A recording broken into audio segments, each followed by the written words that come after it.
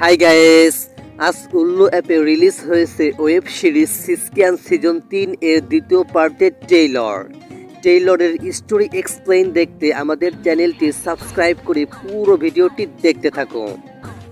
সিসকিয়ান season তিন এর দ্বিতীয় পার্টের টেইলরে দেখা যায়।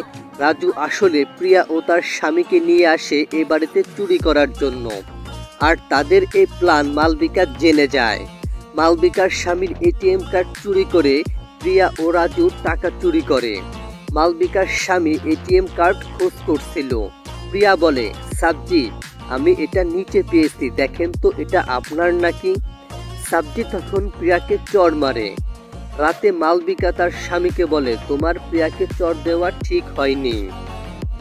পরদিন মালবিকার স্বামী চুপি চুপি প্রিয়া কামড়ের বাথরুমে ঢোকে।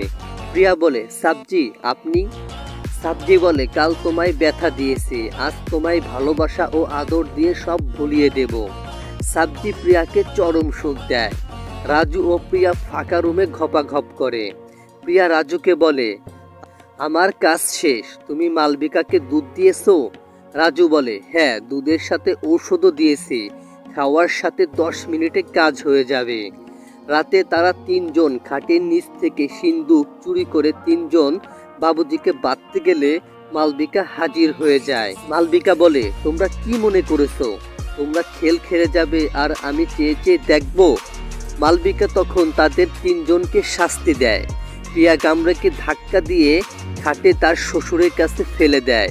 তার শ্বশুর প্রিয়াকে শাস্তি দেয় আর মালবিকা, রাজু ও তার ভাইকে নিয়ে যায়। শাস্তি হিসেবে তাকে চরম সুখ দিতে হবে। সিসকিয়ান সিজন তিন এর দ্বিতীয় পার্ট আগামী নয় ডিসেম্বর উল্লু অ্যাপে রিলিজ পাবে।